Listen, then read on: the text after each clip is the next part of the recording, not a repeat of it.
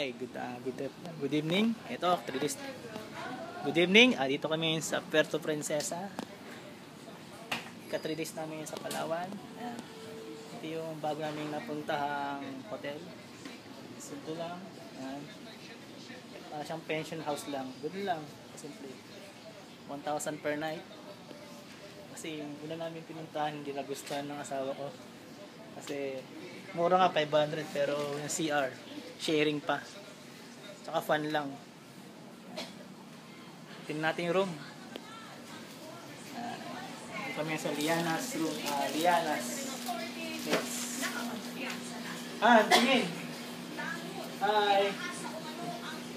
Yan. Lang, yan lang.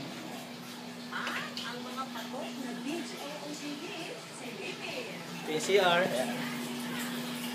Malinis sa may CR. Yan.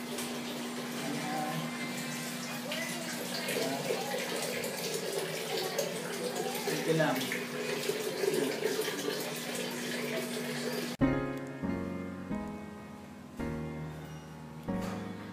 Ito naman yung lounge area ng, ng Liana's Place. Yan.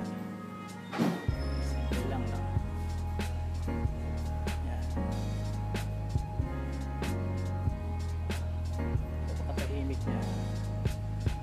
Yan. Han, hi. Hello. Hello. Oh, di ba napaka-quiet. Yan.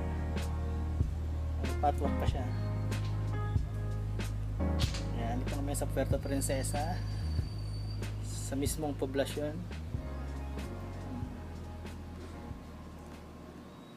Saan libreng coffee? Oh, may libreng coffee. Ah, May libreng coffee dito sa Liana's Place. Ah, di ba? Maganda tong lugar, maganda. Tahimik.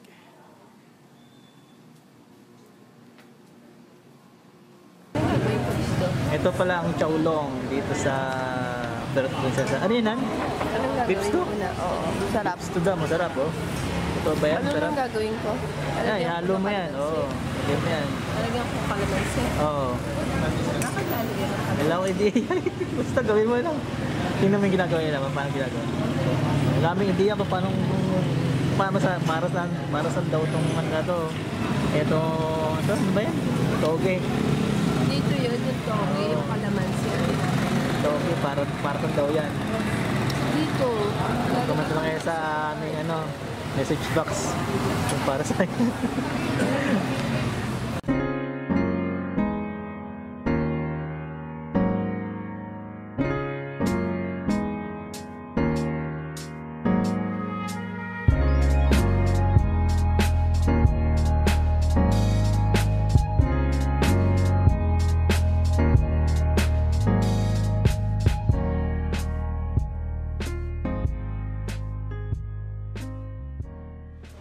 Ano masabi mo?